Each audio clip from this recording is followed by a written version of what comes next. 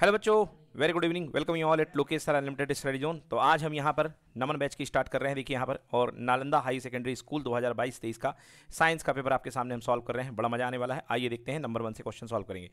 पहला क्वेश्चन क्या कह रहा है? The change in the colour of the moist litmus paper due to given setup is लियो भाई साहब मॉइस्ट लिटमस पेपर है मतलब कलर चेंज होने की गारंटी है।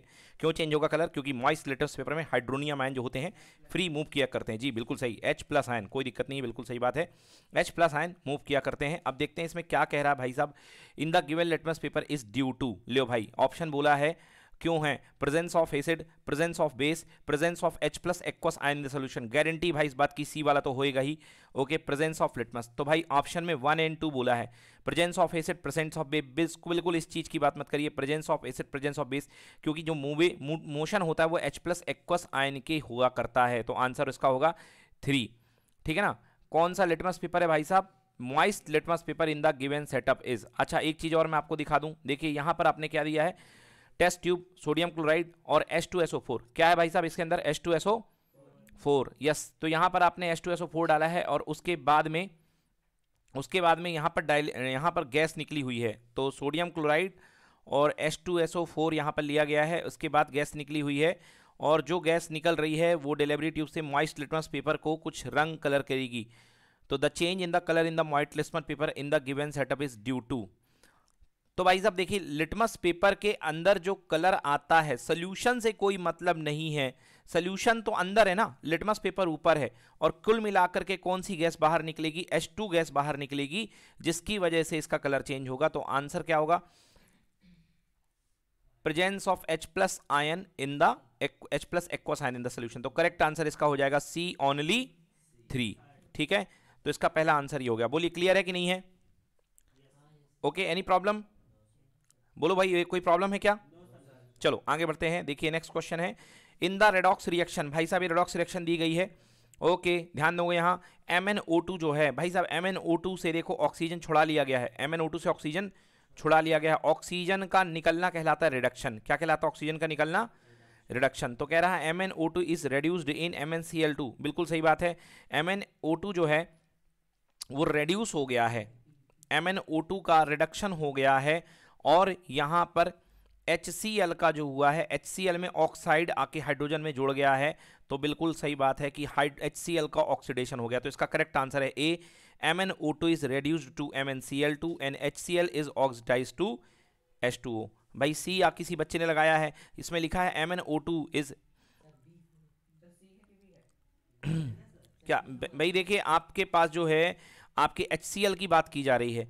अब यहाँ पर HCl जो है HCl से हाइड्रोजन छुड़ा लिया गया है और HCl से हाइड्रोजन छुड़ा करके हाइड्रोजन HCl का छुड़ा करके Cl2 बन गया। अच्छा अच्छा अच्छा अच्छा right right right right HCl का हाइड्रोजन छुड़ा करके Cl2 बना है। तो हाइड्रोजन का छूटने के बाद यहाँ पे ये Cl2 बना है।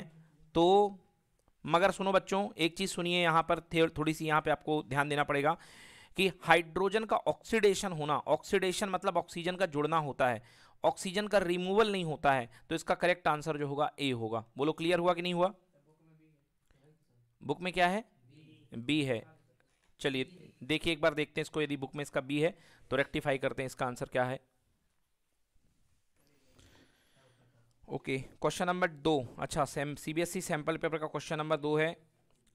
ठीक है ठीक ठीक है? देखते हैं। ओके देखिए बच्चों तो हाई लेवल कंसेप्ट में यदि इसकी बात की जाए तो रिएक्शन को पहले लिख लो आप लोग। थोड़ा सा दिमाग यहाँ पे ज़्यादा अलर्ट होकर बैठना नहीं तो आपको कुछ भी पल्ले पड़ने वाला नहीं है। M N O two plus H C L M N O two plus H C L okay आ, ये बदल रहा है देखिए M N C L two M N C L two और प्लस एच टू ओ और plus क्या? C L two अब मैं आपको एक नया टर्म आपकी ज़िंदगी में आ रहा हूँ। ऑक्सीडेशन स्टेट ऑक्सीडेशन स्टेट या इसका नाम सुन लो ऑक्सीडेशन नंबर ऑक्सीडेशन नंबर ठीक है ना? मान लो, किसी की ऑक्सीडेशन स्टेट है प्लस फाइव किसी की ऑक्सीडेशन स्टेट क्या है? प्लस फाइव अगर वो प्लस फाइव से घट करके, अगर वो प्लस फाइव से घट करके प्लस टू पे चला गया है, किस पे चला गया है?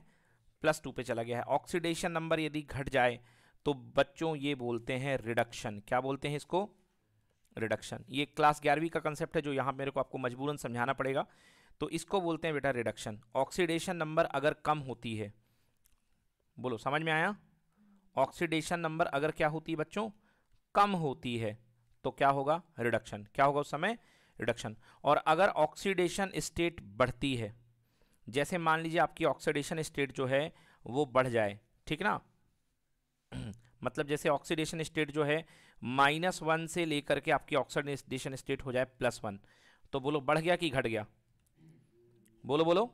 बढ़ गया। तो अगर आप कहते हैं कि ऑक्सीडेशन स्टेट बढ़ गई है तो इसका मतलब यहाँ पर क्या हुआ है? ऑक्सीडेशन हुआ है। समझ गए? तो यहाँ पर क्या हुआ है? ऑक्सीडेशन तो मतलब अगर ऑक्सीडेशन नंबर बढ़ेगा तो ऑक्सीडेशन हुआ है। और अगर ऑक्सीडेशन नंबर घटेगा तो क्या हुआ है? रिडक्शन हुआ है। अब बच्चों, ध्यान से देखो। यहाँ पर इसका ऑक्सीडेशन नंबर क्या है? यहाँ पर इसका ऑक्सीडेशन नंबर है बच्चों प्लस फोर क्या है बच्चों? अब आप कहोगे, सर, इसका ऑक्सीडेशन नंबर प्लस फोर क्यों है? बेटा ऑक्सीजन की वैलेंसी कितनी होती है बताओ? माइनस टू होती कि नहीं होती है? ऑक्सीजन की वैलेंसी कितनी होती है? माइनस टू बच्चों, अगर आपको वैलेंसी का ज्ञान नहीं है तो फिर कुछ नहीं कर पाओगे। ध्यान से सुनो मेरी बात। ऑक्सीजन की वैलेंसी कितनी होती है? माइनस टू अरे यार, इतने भी भोले मत बनो यार। ऑक्सीजन की वैलेंसी माइनस टू होती है। एच टू वो होता है यार, बचपन से पढ़ते आ रहे हो। ओके? एच टू ओ की वैलेंसी होती है ऑक्सीजन की वैलेंसी दो हाइड्रोजन जुड़े होते हैं तो यहाँ पे होती है माइनस टू ओके? यहाँ देखो, यहाँ हाइड्रोजन किसमें है? प्लस वन में है, और क्लोरीन किसमें है? माइनस वन स्टेट में है, ओके? क्लियर हुआ कि नहीं हुआ? अब यहाँ पर देखिए सी एल टू एक क्लोरीन की वैलेंसी कितनी होती है? माइनस वन होती कि नहीं होती है? एक क्लोरीन की वैलेंसी कितनी होती है? माइनस वन तो दो क्लोरीन जुड़े हुए हैं तो यहाँ पे वैलेंसी कितनी हो जाएगी? माइनस टू और इसकी कितनी हो जाएगी? प्लस टू लो भाई, मज़ा आने वाला है। देखो, मैग्नीज जो है प्लस फोर से लेके कहाँ पे जा रहा है? प्लस टू पे। दिख रहा है कि नहीं जा रहा है? तो बोलो, कम हो गया कि ज़्यादा हो गया? कम हो गया। तो बताइए यहाँ पर क्या हो गया? रिडक्शन। क्या हो गया? रिडक्शन। मतलब MnO2 का मैग्नीस का, यहाँ पर MnCl2 में क्या हो गया? रिडक्शन हो गया। क्लियर हुआ कि नहीं हुआ? तो यहाँ पर इसका क्या हो चुका है? ये रिडक्शन हो चुका है। बोलो, क्लियर कि नॉट क्लियर? चलो भाई साहब, अगला देखते हैं। यहाँ पे Cl2 कितना है? Minus one. बोलो यस और नो Cl कितना? HCl में H है प्लस वन और Cl कितना है? माइनस वन बोलिए यस की नो ओके अब देखिए यहाँ पे जो Cl2 है, ये आपके सामने Cl2 बैठा हुआ है। भाई क्लोरीन जो है, खुद में कंपाउंड है सॉरी खुद का मॉलिकुल है, और मॉलिकुल में वैलेंसी कितनी होती है? ज़ीरो कितनी होती है? ज़ीरो यहाँ पे क्लोरीन की कोई वैलेंसी नहीं होगी। तो देखिए ये माइनस वन से लेकर के ज़ीरो में चला गया। माइनस वन से लेके किसमें चला गया? ज़ीरो में चला गया। देखिए मैं एक बात को दोबारा नहीं बोलूँगा, आप लोग ध्यान नहीं दे रहे हैं, गलत बात है। अच्छे सीरियसली होकर पढ़िए। तो यहाँ पे ये माइनस वन है और यहाँ पर ये क्या है? ज़ीरो है। तो बताओ, क्या हो गया? माइनस वन से ज़ीरो बढ़ गया कि घट गया? घट गया क्या? बढ़ गया भाई। माइनस वन से बड़ा ज़ीरो बढ़ गया। और बढ़ने को क्या बोलते हैं? ऑक्सीडेशन क्या बोलते हैं? ऑक्सीडेशन तो चलिए फाइनली हमारा आंसर आ चुका है। एच का क्या हो रहा है? ऑक्सीडेशन और MnO2 का क्या हो रहा है? रिडक्शन तो आइए ऑप्शन में पहचानते हैं। MnO2 का रिडक्शन हो गया है और HCl का ऑक्सीडेशन हो चुका है। बहुत अच्छे बच्चों, समझ गए? करेक्ट आंसर हो गया। आपकी जागरूकता के कारण इस क्वेश्चन को हमने थोड़ा सा इस पर हमने थोड़ा सा रिसर्च किया और हमारा आंसर आ चुका है। एम जो है, वो रेड्यूस हो चुका है। एम है ना? मैग्नीज ऑक्साइड रेड्यूस हो चुका है। तो पहला वाला रेड्यूस हो चुका है और दूसरा वाला क्या हो चुका है? ऑक्सीडाइज हो चुका है। बोलिए क्लियर है एकदम? ओके चलिए नेक्स्ट क्वेश्चन चलते हैं। देखो भाई साहब, क्या है ये? ओके थर्ड क्वेश्चन बन जाएगा।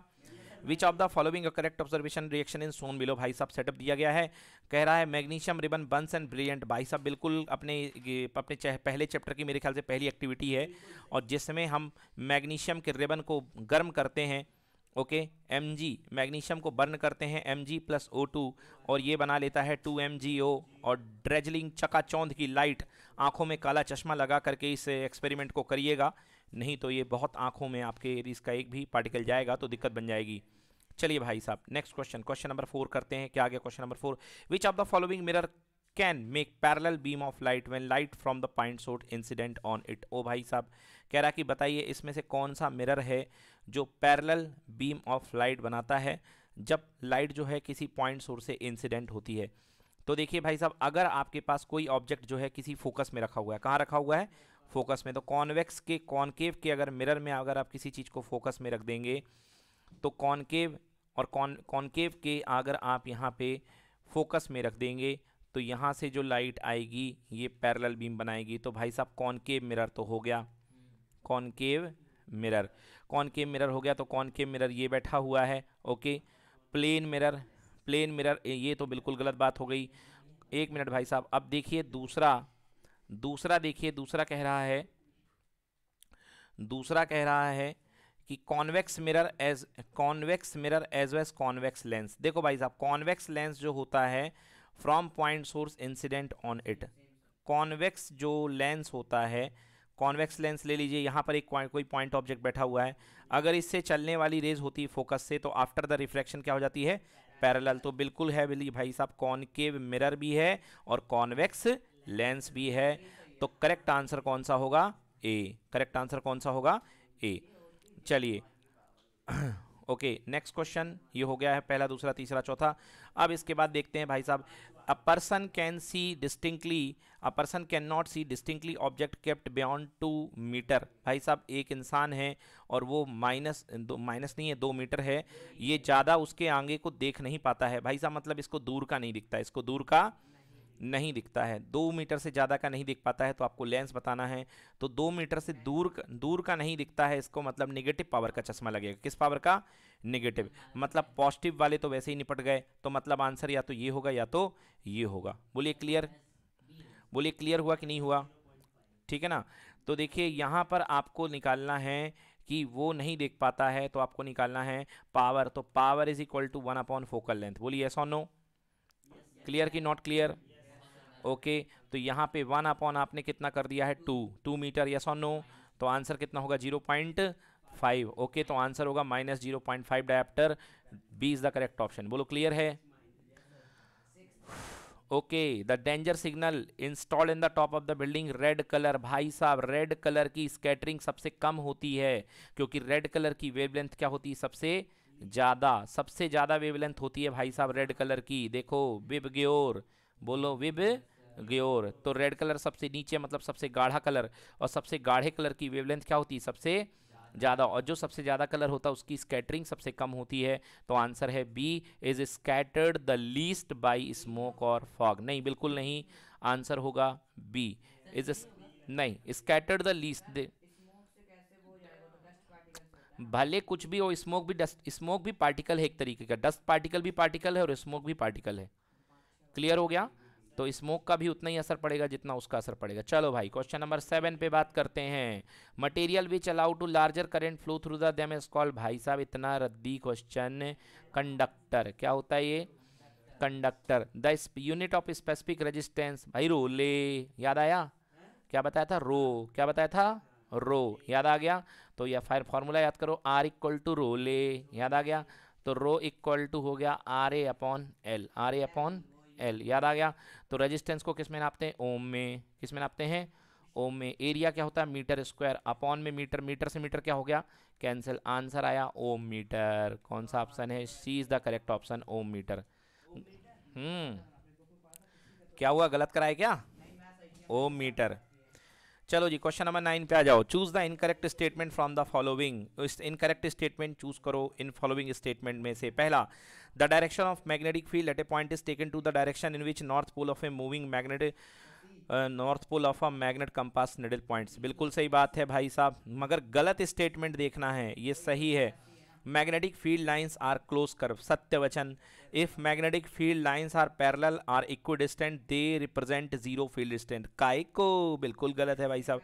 अगर मैग्नेटिक फ़ील्ड पैरेलल हैं तो भाई साहब, ये जो फ़ील्ड होगा, इसको बोलेंगे यूनिफॉर्म फ़ील्ड क्या बोलेंगे?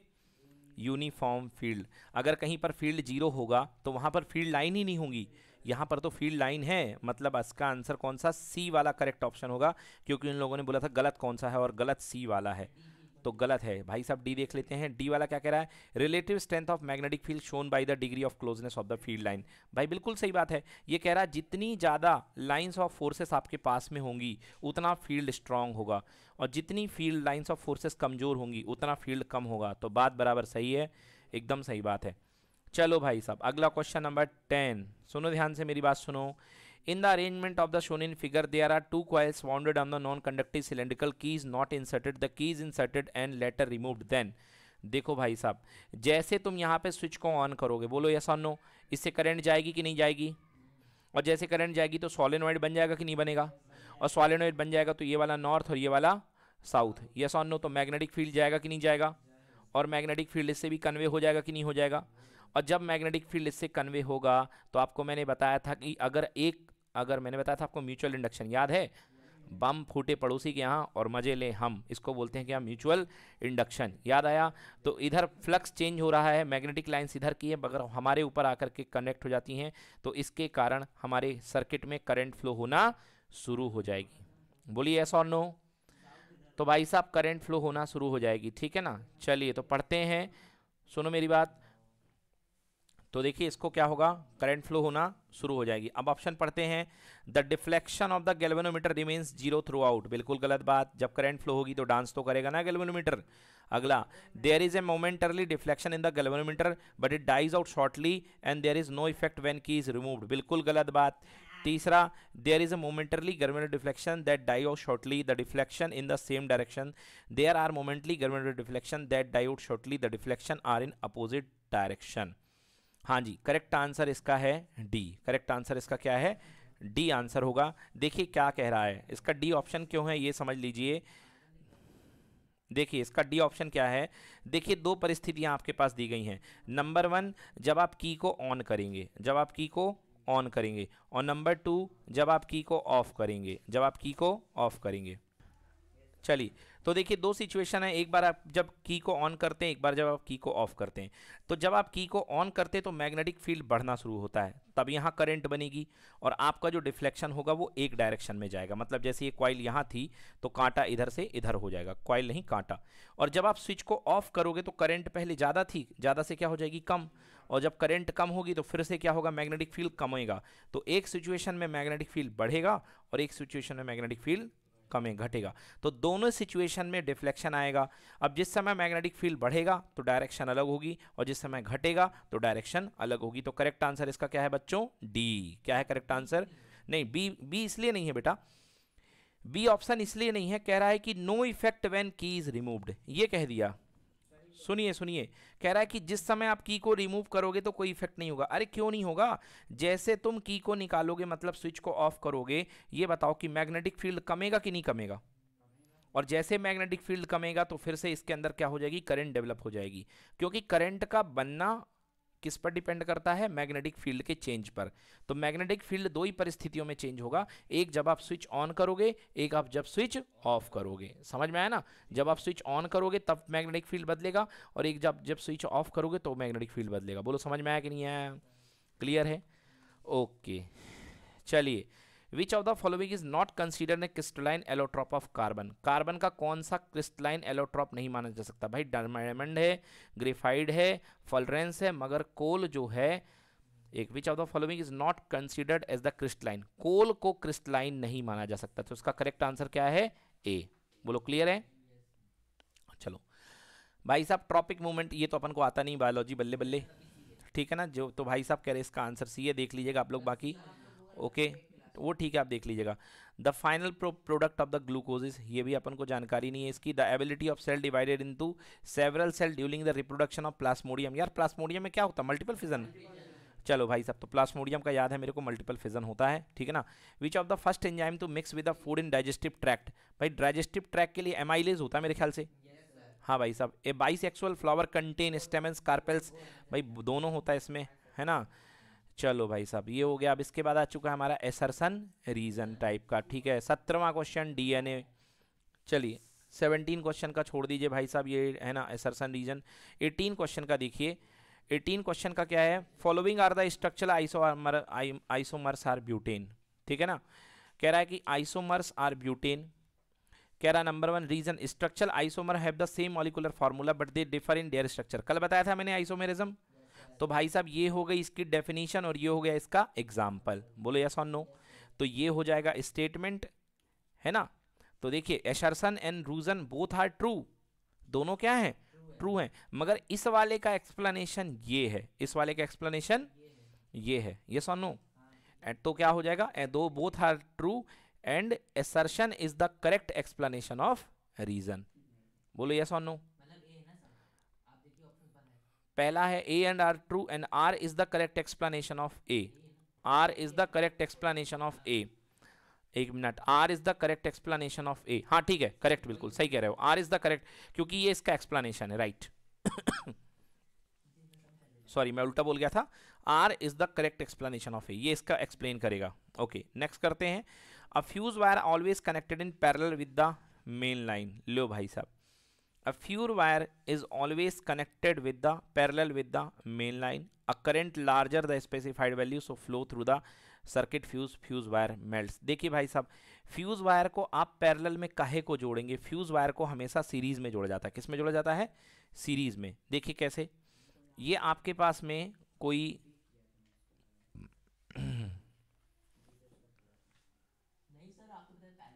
रुक जाइए रुक जाइए। देखिए अभी आप। चलिए, देखिए फ्यूज वायर है। फ्यूज वायर को आपको फ्यूज वायर को आप पैरेलल में क्यों जोड़ोगे भाई? फ्यूज वायर हमेशा जो होता है सीरीज़ में जुड़ा करता है। फ्यूज वायर को आप पैरेलल में क्यों जोड़ोगे? जैसे ये सर्किट आ रहा है, बोलिए ये सोनू ये सर्किट आ रहा है, ये प्लस है और ये क्या है? माइनस है। अगर आप इसको पैरेलल में जोड़ देंगे फ्यूज को तो बताइए, ये मेन लाइन तो चालू रहेगी ना? ये तो उड़ जाने को उड़ जाएगा, बोलो या नो बट यदि आप फ्यूज़ वायर को मेन लाइन में सीरीज़ में जोड़ देंगे तो अगर ये मेन लाइन का फ्यूज़ उड़ गया तो आगे की सप्लाई क्या हो जाएगी? ठप हो जाएगी, और आपका सर्किट चालू नहीं रहेगा। मगर इस केस में सर्किट चालू रहेगा तो फ्यूज़ वायर को किसमें जोड़ा जाता है? सीरीज़ में। किसमें जोड़ा जाता है? सीरीज़ में। समझ में आया? तो इसका करेक्ट आंसर क्या होगा? Assertion is false but reason is true assertion is false reason is true क्या? यार, एक बात देखो फ्यूज वायर को जोड़ रहे हो आप, ये तो देखो ना कनेक्शन बंद होने वाली बात नहीं है फ्यूज वायर की बात अलग है फ्यूज सेफ्टी डिवाइस है। अरे तो रहने दो ना, इसीलिए तो सीरीज़ में जोड़ रहे हैं, आप उस दोनों को चीज़ को जोड़ क्यों रहे हो? आपसे ये नहीं पूछा कि डोमेस्टिक सप्लाई कैसी होनी चाहिए, आपसे ये पूछ रहा है कि भाई साहब फ्यूज वायर कैसा होना चाहिए? अरे डोमेस्टिक सप्लाई के बारे में नहीं पूछा गया बच्चों, ये फ्यूज वायर के बारे में पूछा गया कि फ्यूज वायर कैसा होना चाहिए। बोलो, समझ में आया कि नहीं आया? भाई, तुम ये क्यों सोच रहे और तुम तुम्हारे सामने मैंने एक्सप्रेस कर दिया कि चलो तुम्हारे पास लियो, तुमने पैरल में जोड़ दिया है। लो पैरल में जोड़ दिया। ये बैटरी है। ये बैटरी है। यहाँ से ले लिया भाई साहब। ये लो पापा जी का कमरा। ये आपका कमरा। ये इधर। ठीक ना? ये ताऊ जी का कमरा। ये लो भाई साहब, ये सबको कनेक्ट कर दो। और ये ले लिया और इसके पैरल में एक फ्यूज जोड़ दिया। ये लो फ्यूज जोड़ दिया। हम्म लो, क्या होगा? जिस दिन करंट ज़्यादा आएगी तो फ्यूज अपने आप उड़ जाएगा। बोलो हाँ। और ये उड़ने से बच जाएँगे कि ये भी निपट जाएँगे? अच्छा कैसी बात कर रहे हो? क्यों बच जाएँगे भाई साहब? फ्यूज अलग नीचे लगा हुआ है ना, ये उड़ जाएगा और साथ में ये अपना अपना अलग अलग उड़ेंगे। बट आप सोचो दूसरी कंडीशन शाश्वत इधर देखो। अगर मान लो इसी फ्यूज को तुम लगा करके यहाँ लगा देते तो फ्यूज उड़ता कि नहीं उड़ता? अब फ्यूज जुड़ जाता तो ये तो बच जाते ना। बस। तो भाई विज्ञान साइंस को दिमाग खोल के पढ़ने की आदत डालो भाई। चलो, अगला question. Question number twenty.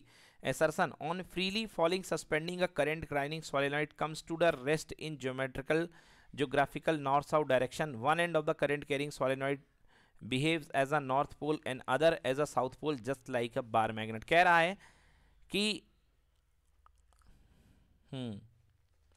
on freely falling current carrying solenoid it comes to rest in geographical north south direction अगर किसी सोलेनॉइड को,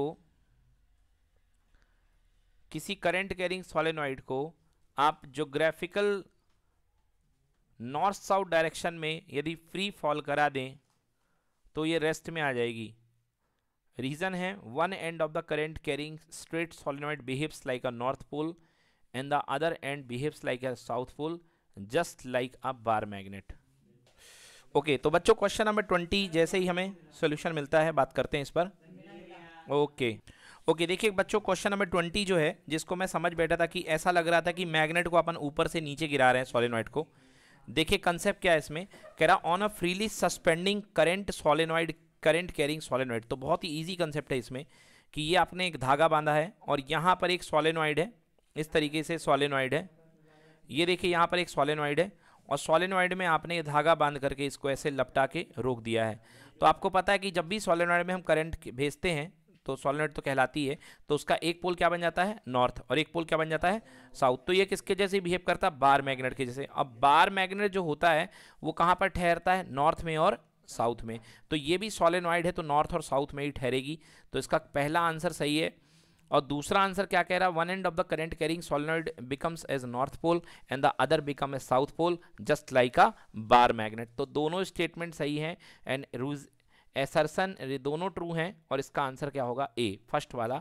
Both A and R R true and R is the correct explanation of A तो इसका first answer होगा। कोई नई बात नहीं है।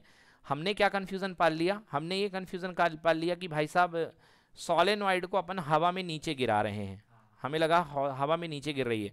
बट एक वर्ड देखिए, ध्यान से गिर नहीं रही। यहाँ पे वर्ड लिखा सस्पेंडेड सस्पेंडिंग मतलब लटकी हुई है। सस्पेंडिंग मतलब लटकी हुई है। तो लटकने से केस ही बदल जाएगा। ये मैग्नेट की तरह बिहेव करेगी। लियो भाई, अगला क्वेश्चन बिल्कुल easy question why should magnesium ribbon can be clean before burning in air देखो भाई साहब मैग्नीशियम एक मेटल है। मैग्नीशियम क्या है? मेटल है। और दुनिया का कोई भी मेटल होता है, वो कभी ना कभी अगर फ्री स्टेट में रखोगे तो अपने ऊपर जो होती है किसकी? सल्फ़र की और ऑक्साइड की परत जमा लेता है। तो मैग्नीशियम जो होता है, उसका ऊपर वो हो जाता है, रस्टिंग हो जाती है। क्या हो जाती है बच्चों? रस्टिंग। और अगर आप उसके अंदर कोटिंग ऑफ़ ऑक्सीजन लगी रहती है, और यदि आप उसको रगड़ोगे नहीं तो प्योर मैग्नीशियम जो है, आपको नहीं मिलेगा। आपके उसके ऊपर ऑक्साइड की लेयर चढ़ी रहती है, इसलिए आप उसको क्लीन करते हो। तब वो आता बोलो क्लियर हुआ कि नहीं हुआ? बोलो क्लियर है? हाँ। यस क्लियर है बच्चों? Write the balance chemical equation तो भैया H two plus C L two equal to कितना हो गया? Two H C L sodium N H N A plus H two equal to N H plus H two barium chloride B A C L two plus aluminium sulphate A L two S O four equal to B S O four plus A L C L three चलिए state Fleming left hand rule बहुत ही simple question आया state Fleming left hand rule तो क्या बताया था इसमें? Stretch stretch your front finger जिसको बोलते हैं main finger middle finger and thumb of your left hand such that दो are mutually perpendicular so if if your forefinger representing the magnetic field your middle finger representing the direction of current then the thumb will represent the direction of force ये था इसका what are the difference between autotropic nutrition and hydrotropic ये तो bio वाला part है। Right a short note और conservation of forest तो भाई साहब, इसमें तो कथा कहानी लिखनी थी कंजर्वेशन ऑफ़ फॉरेस्ट की। Why should sodium kept immersed in kerosene oil भाई साहब, क्योंकि सोडियम जो होता है सोडियम जो होता है एटमोसफियर के साथ एच के साथ रिएक्ट करता है और क्या बनाता है? अपना ऑक्साइड बनाता है और साथ में एच गैस रिलीज़ करता है। वो एच गैस रिलीज़ होने के कारण बहुत सारी हैश टू गैस बहुत तेज़ी से रिलीज़ होती है जिसकी वजह से फायर कैच कर लेता है।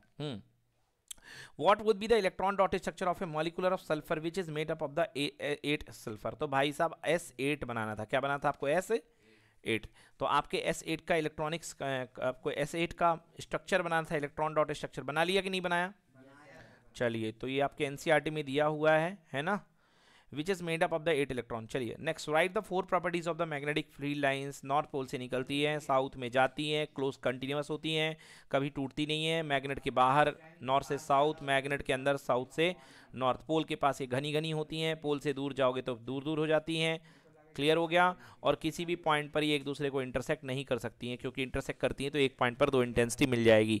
चलिए question number section C twenty seven when you mix solution of lead nitrate and potassium iodide भाई साहब लेड नाइट्रेट और पोसेटियम आयोडाइड यदि आप मिक्स करोगे तो क्या बन जाएगा आपके पास? आपके पास बन जाएगा लेड आयोडाइड क्या बन जाएगा?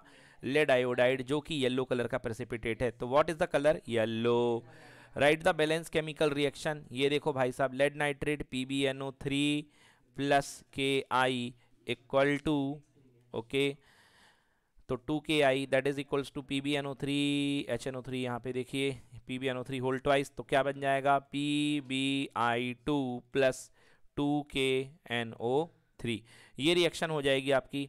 Write a balance chemical reaction चलो ये भी हो गया। Is this double displacement reaction जी हाँ ये डबल डिस्प्लेसमेंट रिएक्शन ही है। चलिए, अगला redraw the circuit question twelve putting an ammeter and measure the current through the resistor and voltmeter to measure the voltmeter कह रहा है, इस सर्किट को यूज़ करके भाई साहब आप बताइए कि इसका सर्किट का डायग्राम कैसा होगा, जिसमें एमीटर और वोल्ट मीटर होगा। तो ये तो बहुत ही सिंपल क्वेश्चन था। भाई साहब, ये तीन रजिस्टेंस लगे हुए थे। बोलिए हाँ। तीन रजिस्टेंस लगे हुए थे। अगर आपको वोल्ट मीटर निकालना है वोल्टेज लगाना है तो इसके अक्रॉस में कहीं भी आप वोल्टेज वोल्ट मीटर लगा दीजिए। और सीरीज़ में क्या लगा दीजिए? एमीटर क्योंकि एमीटर हमेशा सीरीज़ में जुड़ता है और वोल्ट मीटर हमेशा पैरेलल में जुड़ता है। ये लो भाई साहब। हाँ जी भाई साहब। ये हो गया पहला वाला part redraw measure the potential difference across 12 ohm resistor what would be the reading of the ammeter अच्छा इसमें रीडिंग तो दी नहीं है तो ये क्वेश्चन बदल दिया होगा इन लोगों ने। है ना? चलो चलो, ठीक है। चलिए write the equation of the reaction iron with the steam हाँ भाई साहब आयरन की स्टीम के साथ रिएक्शन तो बताई थी मैंने F E plus three H two O equal to F E two O three two F E है ना? F E two O three हाँ। क्लियर हो गया? और प्लस कितना हो जाएगा? हाँ वो हाँ वो चल जाएगा। जो आपके बुक में लिखी हुई ना रिएक्शन आपके हाँ बिल्कुल। फिर क्या बना है बताइए? हाँ फोर एच टू फिर क्या बना है? F E two three F E three O four okay बिल्कुल यही रिएक्शन आपको याद रखनी है। ठीक है ना? F E three O four plus जो भी H two H two H two निकलेगा जो भी। चलिए, अगला calcium with water calcium with water तो भाई साहब calcium with water C A plus H two O C A plus H two O तो क्या बन जाएगा? एक मिनट भाई साहब। C A plus H two O calcium की वाटर के साथ रिएक्शन तो देखिए यहाँ पर बच्चों की यहाँ जो है कैल्शियम विद वाटर तो कैल्शियम जो है, अगर आप हॉट वाटर लेते हैं या स्टीम्ड वाटर लेते हैं तो रिएक्शन करेगा बट कैल्शियम जो होता है कोल्ड वाटर के साथ कोई रिएक्शन नहीं करता है। तो आई थिंक यहाँ पे कोल्ड वाटर का सेगमेंट है तो आपको आंसर यहाँ पे लिखना पड़ेगा नो रिएक्शन ठीक है ना? तो यदि यहाँ पर है, केवल वाटर दिया गया है तो मेरे को लग रहा है कि यहाँ पे नो रिएक्शन होना चाहिए। ठीक है?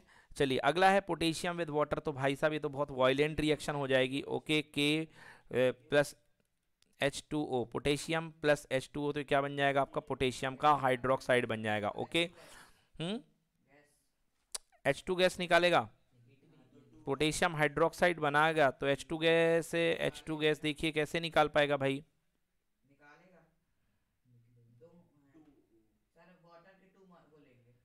वाटर के टू मॉलिक्यूल ले लीजिए। पोटेशियम हाइड्रोक्साइड यदि ले लेते हैं तो यहाँ पे हो गया के ओ एच के भी दो ले लीजिए, two two K O H plus H two हाँ ये बात तो सही है, क्योंकि एच टू गैस निकलती है, तभी वो ब्लास्ट होता है, क्योंकि जो ब्लास्ट की प्रोसेस होती है, वो एच टू गैस की वजह से हुआ करती है। ठीक है? चलिए, अब अगला क्वेश्चन है draw the structure of the following compound ethanoic acid भाई साहब इथेनोइक एसिड का स्ट्रक्चर बनाना है, यानी कि C S three C O O H bromopentane यानी कि पेंटेन यानी कि सी फाइव एच इलेवन और क्या लग जाएगा? बी आर साथ में। Butane are structural isomers possible for bromopentane butanone are structural isomers possible for bromopentane ये क्या क्वेश्चन पूछ दिया? Butanone are structural isomers possible for bromopentane भाई ब्यूटानोन अलग फैमिली का है, और ब्रोमोपेंटेन अलग फैमिली का है। दोनों को मिक्स क्यों कर सकते हैं भाई इसको? ब्यूटानोन अलग फैमिली का है, ब्रोमोपेंटेन अलग फैमिली का है। इसका आंसर है नो इसका आंसर आएगा नो कह रहा, butanone are structural isomers possible for bromopentane? No क्योंकि दोनों के फंक्शनल ग्रुप ही अलग अलग हैं। तो भाई दोनों बदल बदल जाएँगे। कहाँ से होगा? चलो question number thirty dips of the plant भाई साहब, छोड़ दो बायो का क्वेश्चन है। What are the problem use by the non biodegradable waste तो भाई साहब नॉन बायोडिग्रेडेबल वेस्ट को छोड़ दोगे तो सॉइल की फर्टिलिटी खराब कर देंगे। हाँ what is the non bi biodegradable ये भी कर लीजिएगा, जो घुलते नहीं है, जो डिकम्पोज नहीं होते हैं। अगला क्वेश्चन है aqua solution of S C L S N O three S two S O four source X T character wise the ये नहीं सो करते हैं एक्सप्लेन क्यों? भाई साहब, बहुत ही सिंपल क्वेश्चन ही, ये सब हाइड्रोजन प्लस आयन रिलीज़ करते हैं, मगर ये हाइड्रोजन प्लस आयन रिलीज़ नहीं करते हैं ओके ये सब हाइड्रोजन प्लस आयन रिलीज़ करते हैं और बाकी के बाकी जो होते हैं वो हाइड्रोजन प्लस आयन रिलीज़ नहीं करते हैं। चलिए कम बैक आगे देखते हैं। Write the electron dot structure for the sodium sodium का electron dot structure magnesium and oxygen इनके लिए आपको इलेक्ट्रॉन डॉट स्ट्रक्चर शो करना है। तो सोडियम मैग्नीशियम ऑक्सीजन का बना लेंगे आप लोग? कोई प्रॉब्लम तो नहीं है ना इसमें? Show the formation of the N A two and M G O by the transfer of electron लो भाई एन ए टू ओ, अब इसमें आपको क्या करना था? एन ए टू और एम जी ओ का आयनिक स्ट्रक्चर बनाना था by the transfer of electron बिल्कुल सही बात है। तो आपके पास क्या ले लेंगे? देखो, दो एन ए ले लेंगे। और दो एन ए जो है, दो एन ए क्या करेगा? दो एन ए दो इलेक्ट्रॉन लीव कर देगा। और क्या बना लेगा? टू एन ए प्लस और प्लस दो इलेक्ट्रॉन लीव कर देगा। बोलो, समझ में आया कि नहीं आया? क्योंकि एक सोडियम एक इलेक्ट्रॉन छोड़ता है तो दो सोडियम कितने इलेक्ट्रॉन छोड़ेंगे? दो। और ये आपके पास ऑक्सीजन है। इधर उधर बातें मत करो। देखो ध्यान से, ये ऑक्सीजन है, ये छोड़े हुए दो इलेक्ट्रॉन को ले लेगा। ओ माइन टू इलेक्ट्रॉन ले लेगा तो क्या बना लेगा? ओ माइनस टू क्या बना लेगा? ओ माइनस टू और टू एन ए प्लस और ओ माइनस टू आपस में जोड़ करके क्या बना लेंगे? Two N A O sorry N A two O क्या बनाएँगे? एन ए टू ओ यही तो लिखा है। हाँ। थर्ड वाला what are the ions present in this compound भाई सोडियम प्लस और oxygen minus two N A plus और O minus two ion present है। चलिए। हम्म। थर्टी सेवन बता दूँ। थर्टी सेवन थर्टी सेवन देखिए।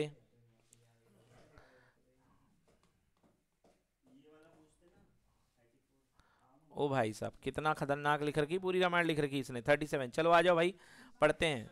ओके बेटा read the following and answer and answer any four question from one to five भाई देखो, पाँच क्वेश्चन नंबर वन से लेके पाँच तक दिया गया है। अब इसके बाद कह रहा है, पढ़ो। The spreading of light is by the air molecule is call spattering scattering of light मतलब एयर के मॉलिक्यूल से लाइट का जो फैल जाना लाइट का क्षेत्र जाना होता है scattering of light the light having least wavelength scatter more जिसकी वेवलेंथ कम होती है, वो स्कैटर मोर होता है। सबसे वेवलेंथ कम किस कलर की होती है? ब्लू कलर की. वॉयलेट कलर की. तो वॉयलेट कलर की वेवलेंथ सबसे कम होती है मतलब वॉलेट कलर सबसे ज़्यादा फैलेगा और रेड कलर सबसे कम फैलेगा। दस N appears red and sun दस N appears red at sunrise and sunset भाई क्वेश्चन तो देख लें दो। Appearance at the blue sky is due to the scattering of light the colour of the scatter light depends on the size of the particle the smaller the molecule atmosphere scatter smaller wavelength of light the amount of the scattering of light depend on the wavelength of the light when light is when light enters from sun to earth atmosphere it gets scattered that particle and the air molecule present in the atmosphere the path of the scattering sunlight entering the dark room through the fine hole is been seen because scattering of the sunlight by the dust particle present in the path inside the room chalo bhai sahab the astronaut by spaceship the color of the earth is black black ha चलिए the astronaut in spaceship the कर्थ of the earth appears भाई Astronaut the कर्थ colour of the earth देखो एक मिनट astronaut के लिए astronaut जो है, वो स्पेसशिप में है an astronaut in a spaceship the colour of the earth appears चलो at the time of sunrise and sunset the light has to travel भैया लॉन्गेस्ट डिस्टेंस क्योंकि जो जिस समय सनराइज और सनसेट होता है तो सन सबसे दूर कंडीशन में हुआ करता है। ओके इस तरीके से अर्थ की शेप है तो लाइट को सबसे ज़्यादा ट्रेवल करना पड़ता है। चलिए तो आंसर है इसका A the colour of sky appears blue due to scattering of light by the air molecule dispersion of light dispersion बिल्कुल नहीं है रिफ्रैक्शन बिल्कुल नहीं है। आंसर है scattering scattering of light by the air molecules at the time of sunrise and sunset blue blue colour scattered and red colours reaches to our eye. Red colour scattered and blue colour green and blue colour scattered orange reaches to our eye भाई साहब, देखो, सारे colour scatter हो जाते हैं, मगर red colour scatter नहीं होता है, जिसकी वजह से हमको सनलाइट ड्यूरिंग द सनसेट और सनराइज हमको वो लाल दिखाई देता तो इसका आंसर होगा नन ऑफ़ दीज क्योंकि all colour nearly scattered but जो है अच्छा बट एक चीज़ देखो, इसमें यहाँ पर दिया है blue colour is scattered and red colour reaches our eye तो ये जो आंसर है, ये इसको सपोर्ट कर रहा है। जो ए वाला आंसर है, इसको सपोर्ट कर रहा है। हाँ ब्लू कलर तो स्कैटर हो जाता है, मगर रेड कलर जो है, वो स्कैटर नहीं होता और हमारी आँखों तक पहुँचता है। ए ऑप्शन है इसका। चलिए क्वेश्चन नंबर थर्टी एट बन गया कि नहीं बना? थर्टी नंबर एट बता देता हूँ। चलिए देखिए which of the metal less reactive than hydrogen कान का मंगल जानू फ़ैशन का परवाना है, क्यों? चलिए मतलब कॉपर हो गया। Which of the following metal is more reactive than the hydrogen hydrogen iron हो गया है। चलिए which of the following metal vigorously react with the oxygen sodium sodium हो गया सबसे ज़्यादा reactive which of the following represent the correct order of the reactivities दो देखो भाई, मंगल, है ना? मंगल, देखो भाई साहब ए ऑप्शन क्योंकि सोडियम सोडियम के बाद मैग्नीशियम मैग्नीशियम के बाद एल्यूमिनियम फिर कॉपर तो करेक्ट आंसर इसका है ए चलो क्लियर हो गया। Hydrogen gas not evolve when a metal react with the nitric acid भाई साहब, क्योंकि जो नाइट्रिक एसिड होता है नाइट्रिक एसिड होता है वो क्या कर देता है इसका? ऑक्सीडेशन कर देता है ऑक्सीडेशन कर देता है। It oxidises S to produce water becomes reduce to hydrogen nitrogen oxide N two because but but कह रहा है इसमें से कौन सा मेटल जो है वो इवॉल्व करके H2 गैस देगा? हाँ तो इसको आपको देखना पड़ेगा सोल्यूशन इस हाँ ये एक्सेप्शनल केस है तो यदि आपने रटा हो तो इसका आंसर देख लीजिए। कौन सा बताइए प्लीज़ सी है श्योर ना? चलिए ठीक है। डन